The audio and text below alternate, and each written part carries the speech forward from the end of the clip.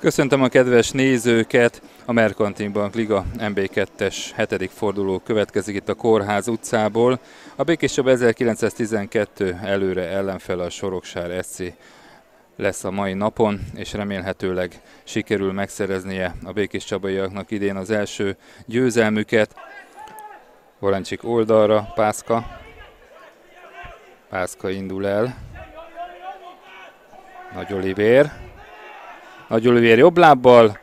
Bora volt az, aki útját állta a lövésnek. Valószínűleg Krás is védeni tudott volna, de így látta biztosabbnak.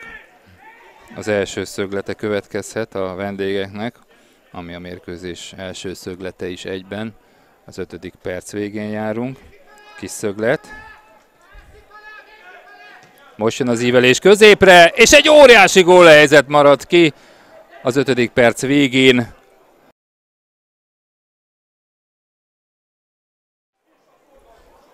Bora. Király.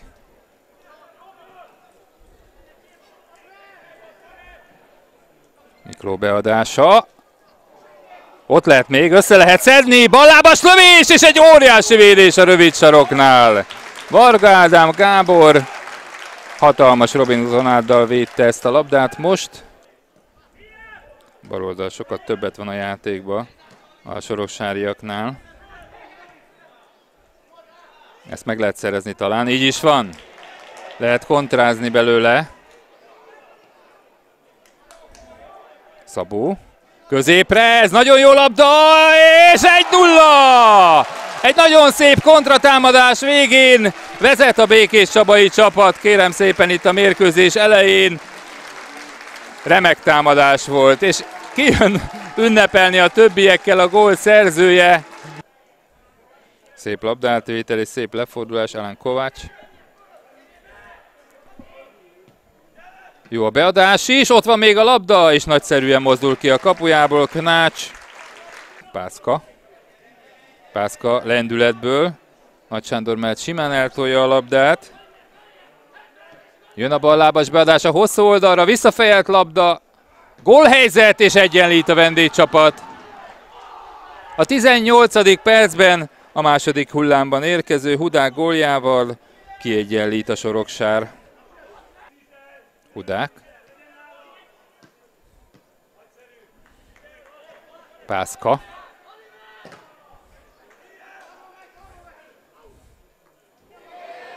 Hát ez, ez tap volt, kérem, játékvezető sportás. Elég közel volt hozzá az eset, és egy nagy védés kellett Krástól.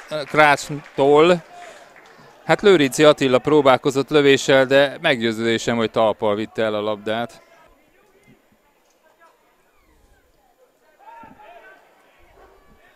Lőrinci. Egyet tovább. Pászka beadása. És 2-0 arányban vezet, illetve 2-1 arányban vezet a vendégcsapat. Ha jól láttam, akkor Csernik érkezett a hosszú oldalon. A védő fölugrott ugyan Csernikkel, de nem tudott tisztázni, és mögüle kibújva Csernik értékesíti a baloldali beadást, és 2-1-re vezet a 33. percben a Soroksár együttese. Varga Szabolcs kapura, és végül is Varga Ádám volt ideje vetődni, volt ideje rávetődnie a labdára, mert azért sokat volt a levegőben a labda a távolság miatt. Most lehet elvégezni a 45. percben, tehát ezt a szögletet a hosszú oldal felé ketten is ott vannak. Horváth Péter tisztán fejelhetett, értetetlen, hogy milyen rosszul találta el ezt a labdát. Hát a védők nem zavarták. Egy nagyon nagy védekezési hiba volt egyébként. A hosszú oldalon senki nem ment a két Csabaival. Nagy Sándor vissza, Varga Szabolcs leveheti a hosszú oldalon, Varga, Bora, ájjaj. Fejjel azért pontosabb, Horvát ismételhet, és Horvát a kipattanó után jobbal. Egy kicsit szerencsésen jött össze ez a Békés Csabai találat, de kit érdekel a lényeg, hogy megvan az egyenlítés. Oda-vissza pattogó labda. 2-2. Horváth Péter a gólszerző az 51. percben. Labdaszerzés, Lukács. Teljesen egyedül van, tud-e valamit kezdeni, vagy megvárja a többieket? Király. Ez jó labda, Varga Szabolcs. Varga át a ballábára, pont középre tartotta a lövés, nem jött ki Varga Ádámról. Pantovics. Ajaj, ilyen eladott labda után gólt szerezhet a vendégcsapat, és meg is szerzi. Hihetetlen hiba. Hihetetlen hiba, amikor tényleg úgy áll már a csapat, úgy áll a Békés Csaba, hogy akár megszerezheti a győztes gólt is, hiszen sokkal jobban játszik, mint az ellenfele Lőrinci góljával, szép, illetve megszerzi újra a vezetést a Soroksár. Király. Sípos, eddig jó. Mikló, ez már nem, sajnos pedig jó volt az ötlet, ott van még Király, leteszi, Varga, és hogy lehet ezt fölé rugni, kérem? Te jó ég! Könnyedén levédekezik ezeket az előreíveléseket a vendégek. Horvát most megszerzi a labdát, már is. Ebből lehet akár valami Pantovics. Pantovics lövésébe belenyúl az egyik védő. Én legalábbis úgy láttam. Lovrenc is megszerzi. Nagyon erőszakos volt. Ez pedig egy zicser most már így, és egy nagy védés Knács. Lovrencsics erőszakosan megszerezte a labdát, a csereként beállt Redzic pedig két csel után tisztára játszotta magát, és a hazai kapus Knács bravúriának köszönhetően marad a 2-3.